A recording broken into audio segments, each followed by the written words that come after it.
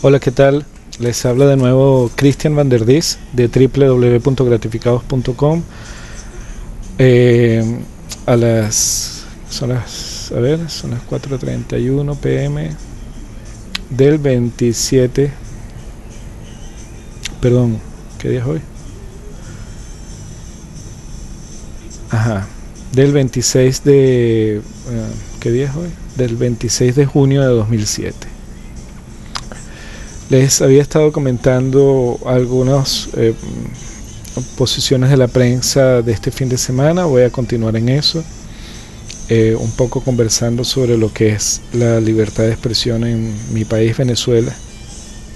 Okay.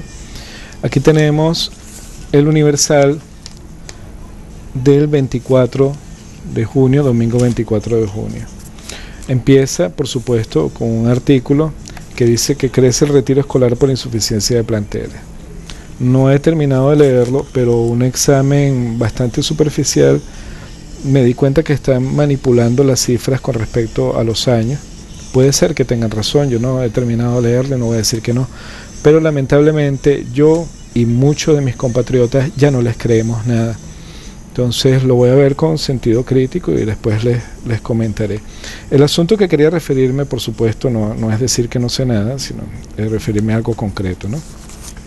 Ok, este es uno de los diarios que se encadena con los otros diarios de lo que, que es esa que yo llamo la mafia de la CIP, de la Sociedad Interamericana de Prensa, y entonces estos que mm, hablan de pluralidad, cuando sale en un país de 912 mil kilómetros cuadrados, de 26 millones de habitantes, marchan 200 personas y todos los diarios salen con la misma foto de portada de las dos cuadras de las personas marchando si son de la comparten la línea editorial del diario.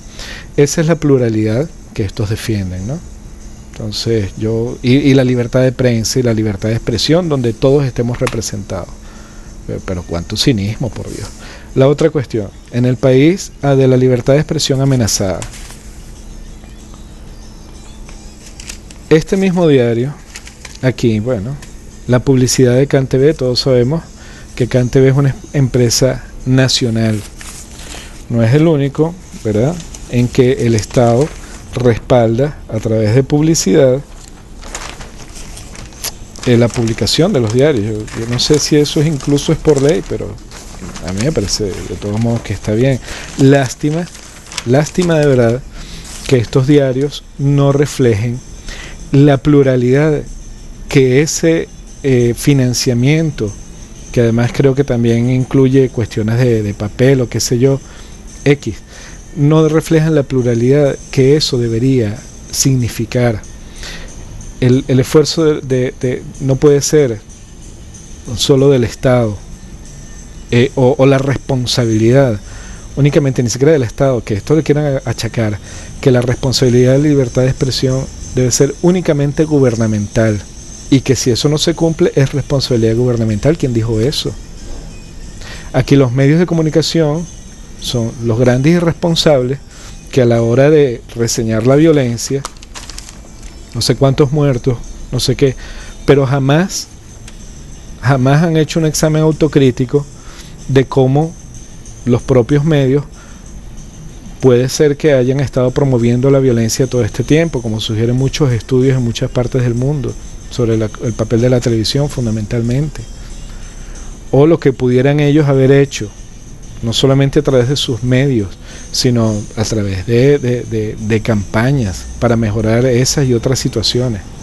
Pero bueno, forma parte de la irresponsabilidad y de decir, bueno, la culpa la tiene fulano, la culpa la tiene otro, yo no tengo ninguna responsabilidad. Como les digo, estos medios son monolíticos, eh, de una sola cara, no reflejan ninguna libertad de expresión, es verdad, pero no porque el gobierno se los prohíba, porque ellos mantienen una sola línea editorial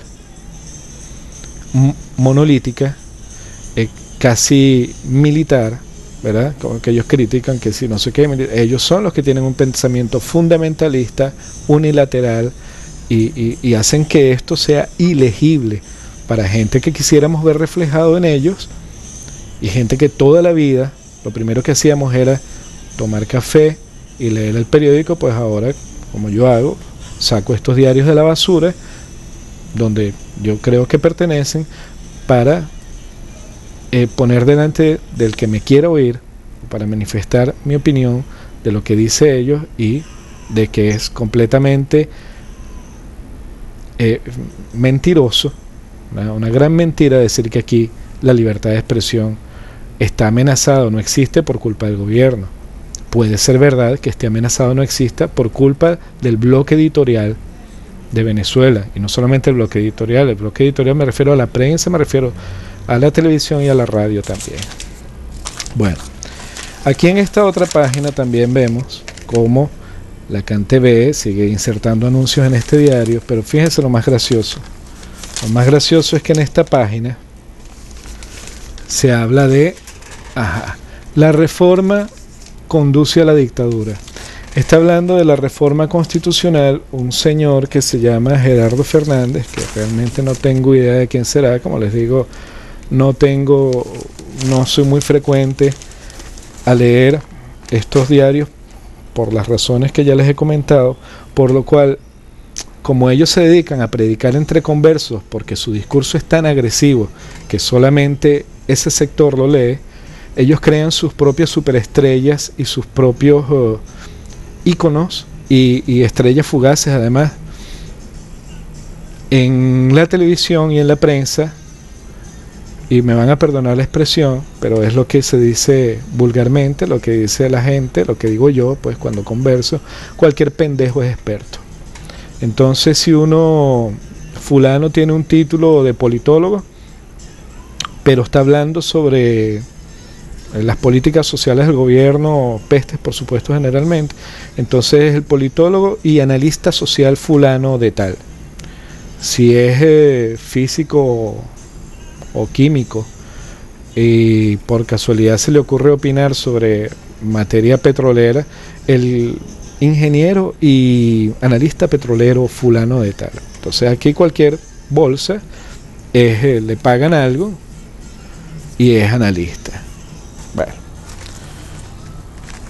cosas de, de aquí. Ah, bueno, han escrito por supuesto por el gran analista brillante Roberto Justi, ilustre prócer de la libertad de expresión y del análisis, eh, eh, ¿cómo se dice?, equilibrado uh, de la política y de la realidad venezolana. Pues, Santo Cristo. Bueno, toda esta página es básicamente un, toda una discusión acerca de la reforma constitucional. Lo interesante es que eh, la reforma constitucional ni siquiera ha sido discutida todavía en la Asamblea. Se ha hecho un, lo que llaman ellos un papel de trabajo, luego eso tengo entendido que va al Ejecutivo, el Ejecutivo lo regresa, se analiza en la Asamblea, bueno, después de todo ese proceso va a referéndum. Es decir, hablando personalmente, yo voy a ir a votar si la apruebo o no la apruebo en última instancia.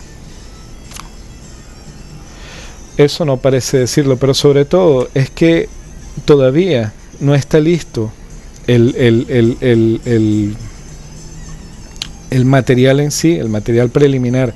Estos sacaron algo que dicen eh, que ayer y anteayer desmintió el vicepresidente de la Asamblea, lo, ha desmentido como 800 veces, y estos medios siguen sacando que ellos tienen un documento que es el que es, como si ese es el que ya está aprobado, que no va a ir a, referéndum ni nada, sino que lo están haciendo a escondidas y lo van a aprobar y que además, por añadidura de toda esa gran manipulación, ese documento contiene cosas como que, eh, limitaciones o, simple prohibición, eliminación de la propiedad privada, de la patria potestad eh, de, de los niños y los cuentos de siempre.